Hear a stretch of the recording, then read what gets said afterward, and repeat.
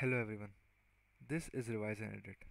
Welcome to my YouTube channel and welcome to my first video. This channel is going to focus on issues, queries, anything related to Revit and I'm primarily going to look at things that I have personally encountered while using Revit for about 3 years.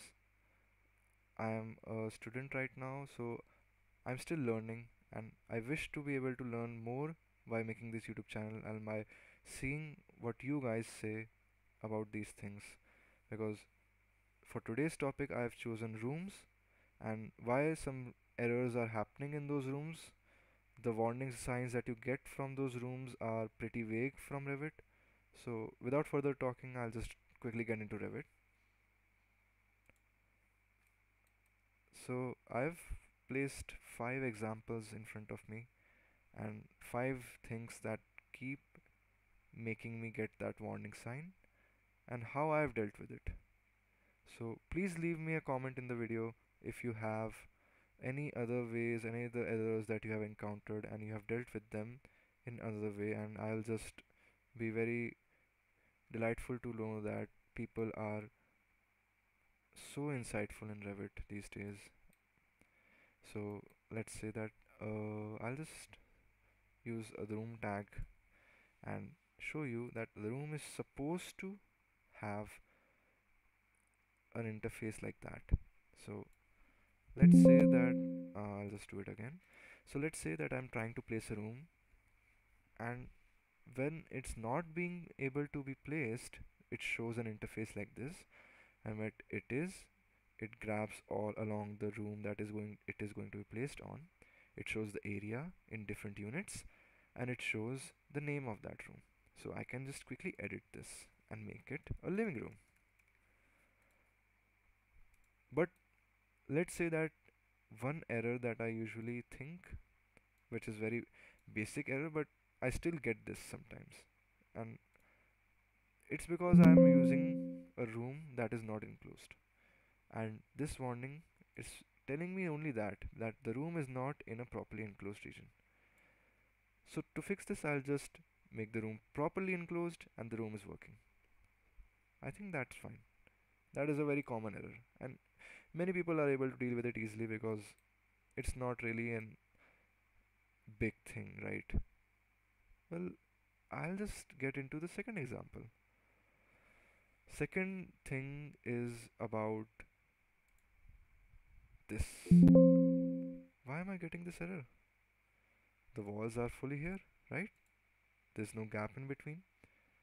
Well there's another thing that you have to consider that if the walls are room bounding so when you select a wall you can get into the properties of that wall and see this room bounding it has been turned off for all of those walls.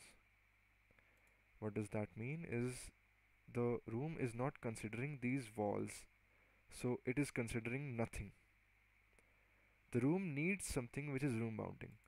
So these walls were room bounding. This is enabled for all the four walls. That is why the room is considering this this as a limit.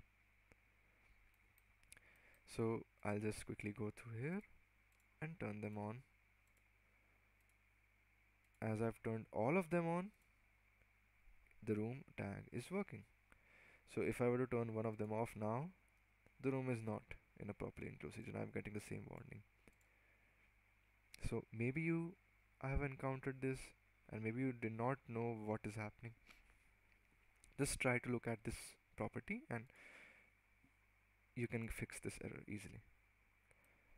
And the third error that I usually have while using rooms is well I try to place a room and it's not working then I follow the tip number two but it's room bounding. Then I look at all the other walls. They're all room bounding. So you have to look at it in a different perspective for this example. Well I'll just tell you first thing that the base offset is wrong here. But in the plan it looks like it is correct right? So if for the if the base offset is 500 mm off even if it is 1 mm off the room is not gonna work. Because the space right here let me just take it into 100 uh, because you cannot see a 1 mm right here. So this is a opening. The room is not fully enclosed. And the property of this error that the room has to be enclosed. So you can quickly fix that you can just take this and make the same level for all these. But what if you are working in a terrain and you have to use rooms but you're not able to use rooms because they are not on the same level the base offset is not on the same level. So I'll just tell you this like I usually do this for that. So let me just make it a different offset for all of them I'll make it that 100 I'll make this 500 I'll just make this 1000 I'll just make this 1500 oh so 1500 is a too much. I'll just make it I'll just make it 1000 as well. Okay. So in 3D it looks like it's not gonna work. But you can use a option here that is room separator and I think you must have used room separator before. So okay I'm getting some problem here. Yeah. So if I were to use room separator I can basically trace around the edges of that room in the plan.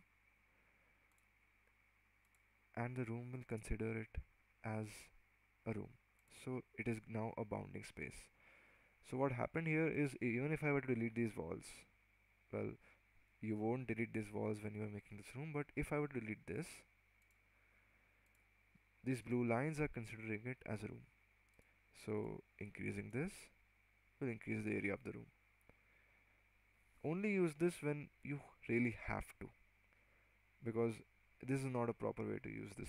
I'll take you in the next example and tell you what you should use the room separator for? Well it's pretty obvious because room separator in the name is to separate rooms. So I'll just control Z right here. And for the next example I am showing you how you can place a room two rooms in one enclosed space while using room separator. So if I were to try to do that without the room separator it is going to show that the multiple rooms are in the same enclosed region and you cannot have that. So it is a redundant room. Redundant means it's not going to work. It's not showing any value. So to make it work I'll just trace the area that I want. Let's say I want a 3 meter by about two and a half meter. So now this room and this room are separate. And these are showing the values according to that their area. According to their area. Right? Pretty simple. And room separator is pretty much used in this category. So that is one of those things that you can do with that.